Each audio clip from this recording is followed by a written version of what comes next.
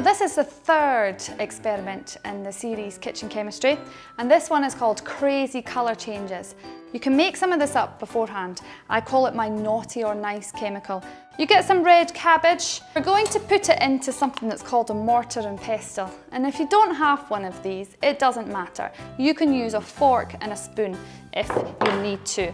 In goes the red leaves. Now, to release that dye, we want to add some hot water. And what will that do? It will help burst open all these cells and release that dye. So if you pick up a coffee filter, pop it into, I've got a beaker, but you could use a cup. Pop it in so that it sticks out. And then what do you want to do? You want to just pour it in here. And this is our indicator. Let's test some washing powder. So it's washing powder with some water, and that's what gave us the green there. Why not test some lemon juice? And you can just pop a little bit in a cup and ask them to test it and see what colour it turns.